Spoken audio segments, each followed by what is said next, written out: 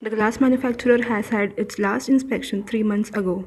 The manufacturers use harmful chemicals to color the glass and hence emit chemicals in the air. Meanwhile, it continues to burn the residual waste, including molecules of chemical, in the vicinity.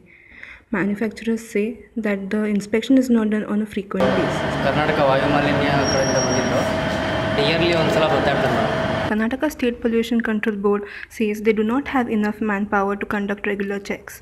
The board has been understaffed for nearly 10 years now.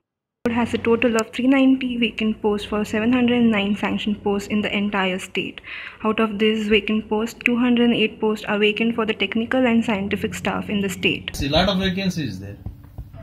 All are assigned to see the monitoring and uh, monitoring work of air pollution, water pollution, noise pollution, other fill the vacancies as early as possible. Difference between monitoring uh, for uh, sound pollution and air pollution, uh, you need to have different technical capabilities also.